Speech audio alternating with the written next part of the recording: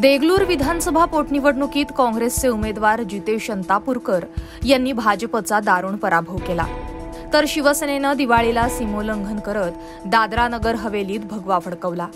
त्याचबरोबर भाजपच्या जीवावर शिवसेनेचे आमदार निवडून आल्याचं भाजपकडून बोललं जात होतं. याचं उत्तर शिवसेनेनं दादरा नगर हवेलीत भगवा फडकवून दिलंय.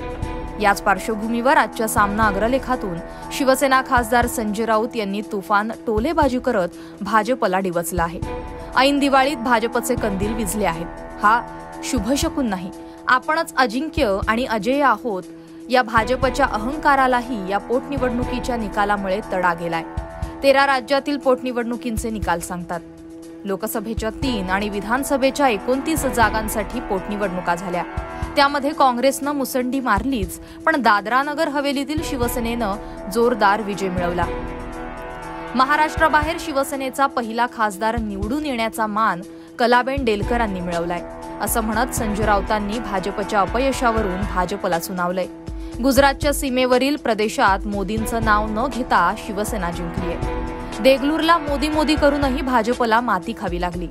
महाराष्ट्राच्या विजयाचे दमदार पाऊल देशपातळीवर पडलं आहे. या पावलाखाली सर्व अमंगल अन्याय चिरडून जाईल.